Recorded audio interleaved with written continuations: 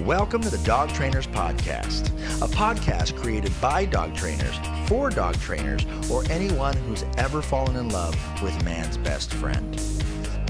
Right. So, so, so, how I think the the the goal that that I've always had as my own personal goal for what I hope to create is I want to create the tools that allow people to self-diagnose what tools I should use, what trainer training ideas I should practice, you know uh, how much work it's going to actually you know take you know to be able to get a better perspective of the actual training process right? Because we know as trainers if you get a puppy we'll just do it one stage at a time right? Puppyhood then mm-hmm. childhood then pre-adolescence then adolescence and just as he gets older you just keep keep on going on. But we're always getting the dogs who are a year old they're fucked yeah. right. and then we have to fix them right? And so if we can make dog training more digestible, easier to understand, um, easier to self-diagnose of what's right, what's wrong for this particular puppy, right? Because why are there so many training techniques and approaches? Because there's so many different kinds of personalities, puppies, variables, dog owners, owners uh, yeah. circumstances. Whether they have kids, they don't have kids. There's so many things. Everyone's trying to give really simple answers for a very complicated problem, mm-hmm. and the only I, I, think I think uh, the one thing that I hope this podcast helps at least for dog trainers is let's let's simplify let's simplify the diagnosis right? Let's let's make things a lot easier for people to digest so they can help themselves. Can i say too i, I think it, it is a combination of that and i agree with you too that collaboration will help with that because it'll like a rising tide raises all ships type thing. But also i do think that it's the more dog trainers collaborate and put out content together or individually, the more normal dog comes as a thing. And even if it's still somewhat complex, you're right, there's just so much variety. Mm-hmm. It's it's the complexity is there. It's just not weird anymore. It's like like social media, you know, like back in the day, I can give my mom my phone right now and she'd be like, What the hell am I looking at? You know, just because they don't quite understand. But somebody who grew up with it, they took it on just fine. Mm-hmm. You know, so I wonder if we can make more content, more collaborative content, mm-hmm. and just make dog training like like you and I have talked about for a while, just more mainstream, more normal. Mm-hmm, then mm-hmm. the content becomes more digestible because people have have Been taken it in it. Yeah. right over a period of time. Yeah, yeah, yeah. I mean, if you think about it, like I like I grew up from age 12 to 18 watching Cesar Millan. Right. right. And right. you know, prior to that, what dog shows were there? But no one's watching traditional television anymore, right? We're watching even YouTube channels that. or yeah, yeah, for sure, for sure. Right. But like I think all the content on the internet is making dog training more normal, and we see mm-hmm. that that effect already, right? We see a lot of millennials; they're just like, "Where's the e-collars? Right. like, like, like, where are the pinch collars? Come on, let's do this." Versus right. the the the generation before, they'd be like, "What? What? What?" You know. So we are seeing the effect of just this oversaturation of information it does have its confusing components, but it has also this like desensitization component to it as well, this normalization aspect right. to it, which is cool, which is cool. Would um, it be um, fair to, to explain it this way? Like in, in, if this is wrong for your thought, then let me know. I feel like, you know, you were explaining it and it just gave me the words that the technical aspect is kind of there. Younger, newer trainers are like, oh yeah, you call it, you know, they're learning everything so quick because they have the tools that, that other trainers did not but the communicative aspect isn't there yet. It hasn't become like a family yet. It's just a bunch of people who all know their shit. And everybody yeah. needs to mm-hmm. kind of come together and polish it all down and be like, here, man, you present it this way, you teach people this way, you explain it that way. Yeah. And and at the same time, you still should have your own way. Right, of course. yeah. Because there's nothing wrong with that. And that's that's right, yeah. the beauty of this. And I, I think, think in, that, in go sorry, go ahead. Go ahead. No, I was just going to say that more importantly, even than normalizing tools, is changing the the perspective of dog owners on on having a dog and what right. it means to live with a dog mm-hmm. and what's best for their dog and all of that. Because I think we can prevent so many issues that require tools, and I, and I think e collars and prong collars are great. Mm-hmm. and I'm all for them. And put it on uh, most dogs, no problem, right? Like, but I think that we can prevent just except for the genetic issues, but we can prevent most behavioral issues if owners simply understood how to live with their dogs differently. Right. right? Without even getting to like the training aspect of it, even though, yes, technically it's training, how you live with your dog is training, all that stuff, but mm-hmm, mm-hmm. it's separated from the the formal training of here's a training collar, let's teach this, this, and this. The what are you doing with the dog the rest of the day? Yeah. Right. Yeah. And to me, that's the most important part, really, because that's where Yeah. that's where the dog either becomes a total brat or Mhm. anxious or aggressive. It Mhm. doesn't happen during the training sessions that you do once. Right. It Right. happens in the rest of the day. And if we can teach owners what that should look like and change the perspective on that and normalize I call it the I call it a dog culture. Like like you have Yeah. culture that helps you raise your kids, but we don't have clear, concise cultures. doesn't matter if you're Persian, if you're Jewish, if you're Latino, it doesn't matter. We have cultures that a kid at this age should be doing this, a kid at this age should be doing this, and it's just so unclear. It's so uh, it, it- I wouldn't even say it's fuzzy. It's just un, underdeveloped for for most Yeah. dog owners for sure. Agreed. Maybe it's maybe it's to do with everything else is just getting so fast and so like automated and so. But Mhm. dogs are living animals. It's it's it's never going to be that, you know. Yeah. So yeah, I mean, I, I like lately though what I've been seeing as far as other content, people people kind of making their voices heard as far as tools and things like you were saying. Because of course, I think all three of us are aware the whole like positive reinforcement training and everything now, like kids and everything now is it's it's growing in popularity. And yet, you know, I love to tell people it's fascinating to me that as a concept, period, dog training or not, like never say no, you know, always say yes, everything else is is becoming so popular. And yet tools like e-collar and this and that are still becoming more popular at the same time too. Like not then not then pure positive, but they're it's not like they're shrinking in popularity. They're like this secret dark horse that's coming along the way. And I think the reason why is because while the idea is so nice, you know, how, how about you just never say no to your dog and never be mean ever? It sounds amazing. But at the same time, there's just like sheer footage. There's hours and hours of just like here, this was a dog that had this issue, this issue, this issue. I totally appreciate where these people are coming from, but for this particular dog, this thing saved his life and blah blah blah. And and you know, that's why I think it's just continuing to grow. It's just like straight up evidence, you know. So I want to see more and more of that. And I think the collaborative efforts are only going to become more normal. And I love that your podcast and this podcast are just giving people the opportunity to do it. Yeah. Yeah. And I I think the reason why it's like you were saying, the tools are growing in popularity even while the purely positive way of life, because it's not just a dog training thing, it's a way of life, Mhm, It- mhm.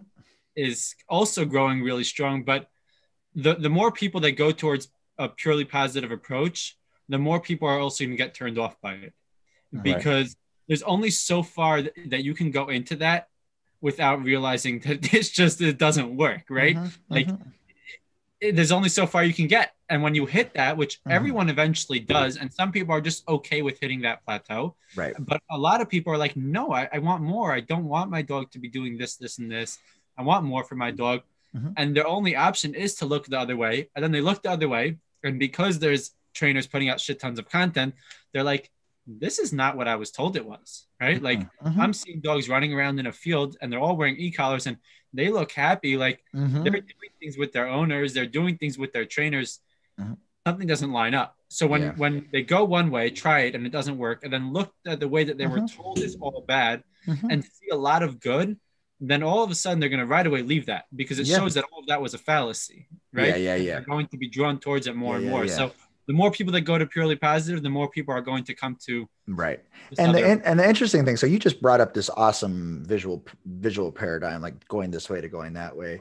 And i and i would say for the dogs you know dogs who are puppies and young and stuff like that like that is a natural course that will happen. I go to, all the way to this direction i find out it has its limitations and then they cut to a different direction where that they see more practical measurable results right and i think one big thing and i was talking to shona actually one of our our, our trainer friends um, yesterday was we were talking about um, you know everyone everyone has a belief in dog training based on we are all protective of dogs right? We're all loving and protective of the relationship that you can have with dogs and we don't want to damage it.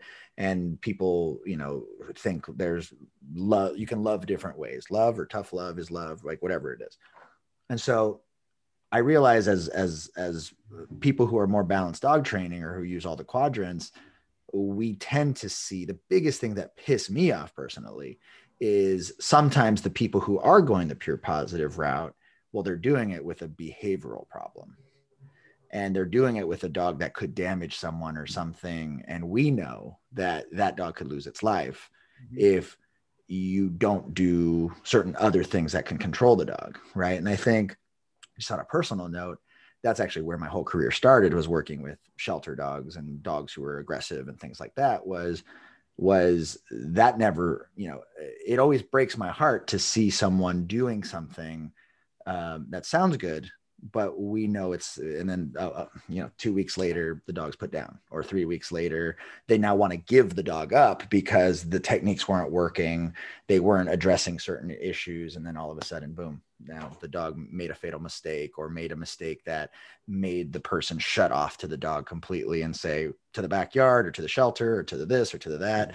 And it's uh yeah i think it, with the exception of those moments there that natural that natural pendulum swing would happen. Yeah.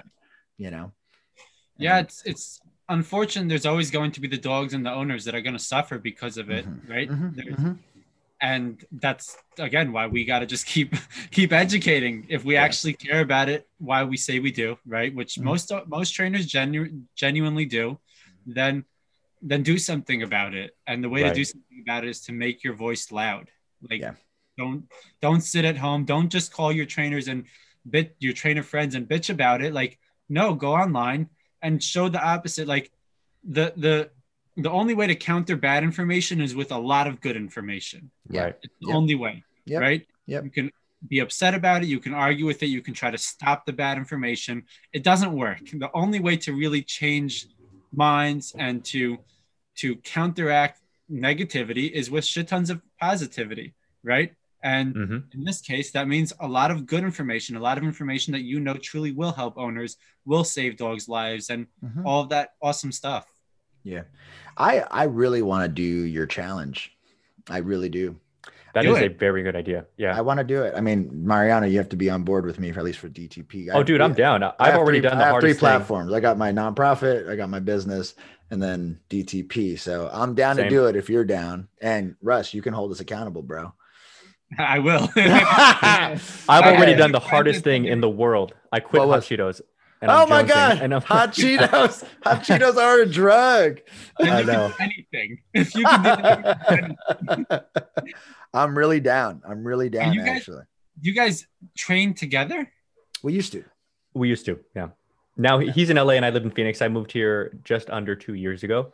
Uh, so not anymore. I mean, if I'm ever in town, then we'll do some stuff together. Mhm. Um, but for the most part, we do our own separate thing other than the podcast and, and everything associated with it. But yeah, man, it, honestly, Brent, if you are if you're down to do it, I will do it with you. Super down. Looking for a Good. good excuse. I like a good social pressure challenge on me. We should make a hashtag for dog trainers so we can keep track of it. Ah, okay. Down. What's it? Yeah. what's it? it's, it's on you, bro. It's your challenge. Let's do it.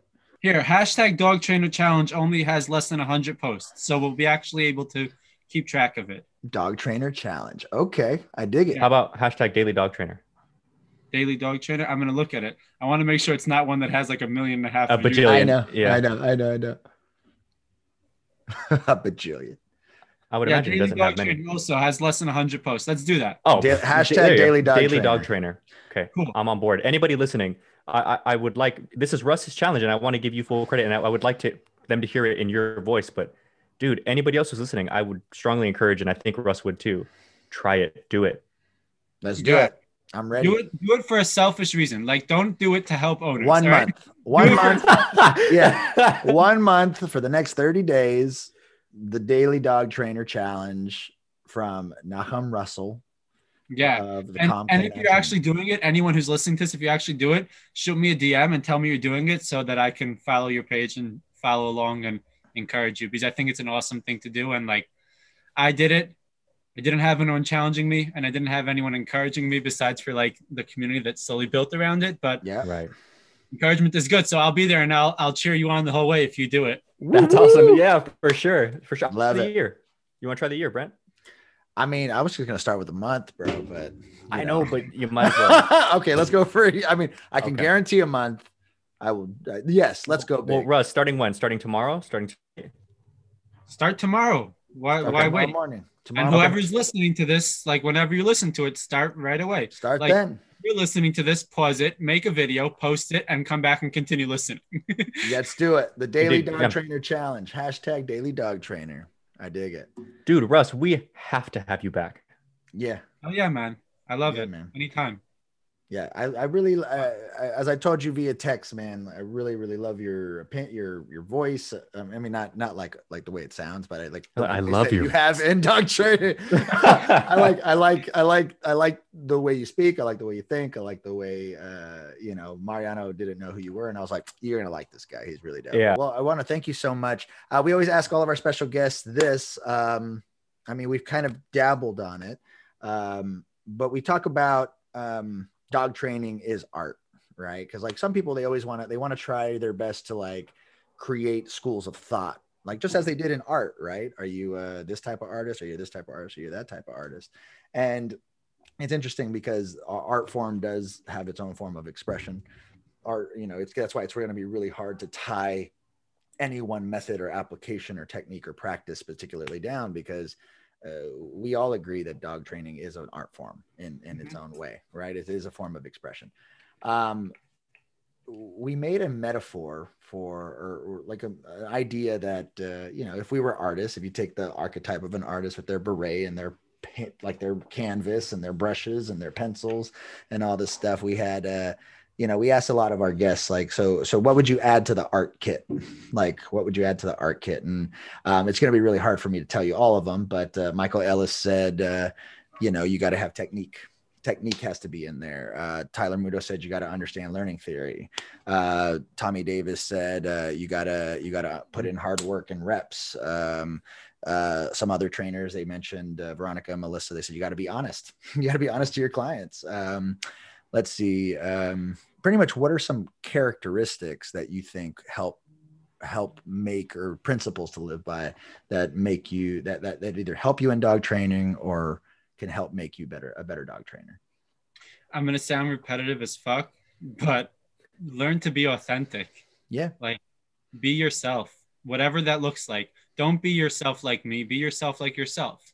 mm-hmm. and and I think that it plays out. We spoke a lot how it plays out with the business side, but it plays out the way you show up to a dog. You can't lie to an animal. They'll read right through your bullshit. Mhm. Like you just can't. They'll know when you're serious or not, especially if you're dealing with behavioral cases, not just like obedience work. They'll read through you. You got to show up as who you are. And the cool thing about it is that dogs are not going to judge you. So it's actually the best way to practice being yourself is when you have a leash in your hand, when you're with a bunch of dogs. But learn to be authentically yourself. And and the other thing I would say is learn how to be present because again, if you can't be present with a dog, you're going to get your ass bit at some point true and, and you're not going to do what's best for that dog. Like besides that you can get yourself hurt, you're not going to do what's Mhm. best for that dog because Right. at some point, I think most trainers will learn it the hard way. When you have a paint by number way of doing things, eventually you'll have that dog that either you fuck up yep or it just doesn't work. Yep. And if you can truly be present with each animal you work with and authentically showing up as yourself, they go hand in hand, then Yep. you'll be able to do right by every dog you work with and do right by every client you work with and be most successful in life by being present and being yourself. i love that Awesome, man. that's gold that is gold um great man great any last thing you want to say mariano No, you killed it, man. It was so nice having you on, Russ, man. We need to have you back very soon for sure. agreed Absolutely. I had a good agreed. Let's do this. all right, Anytime. All right, Let's well- do this. Can I say something? well, Let's do the 30 day challenge. okay Okay. Let's encourage, again, anyone who's listening to this to actually do it. okay Right? Hashtag, what was it? Daily dog Daily training. dog trainer. daily dog trainer And Yeah. then let's talk again once you've done it and see how you guys feel about it. Ooh, Okay. yeah. Okay, let's do that for That sure. That would be sick. That would be sick. All right, I really appreciate that. Uh, that kick in the ass. I think that's really, uh, really, really important. Cool, guys.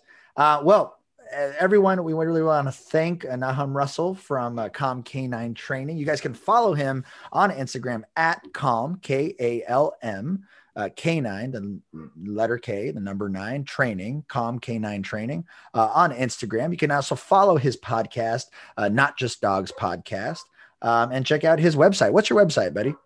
I don't even have a website. I know that's crazy. Doesn't have a website. Instagram is his website. That's all you guys really and- need. Instagram and Facebook on my website. One thing about the podcast is if you're going to search it on YouTube, then just go to my channel, which is Kalm K9 Training. So I'm Kalm K9 Training everywhere Everywhere. Twitter, Instagram, Facebook, YouTube.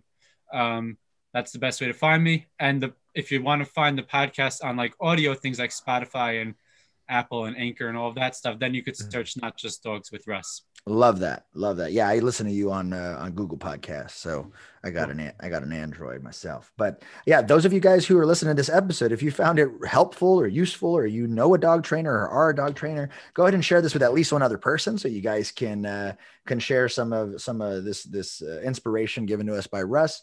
Um, and we want to thank you guys so much for listening. Now, those of you guys who are on any specific platforms, whether it be Spotify, iTunes, um, you know, the, the, it allows us to help more people and, and be more searchable the more reviews that we get. So if you guys found uh, any value in this, please go ahead and leave us a review on the particular platform that you guys are listening on.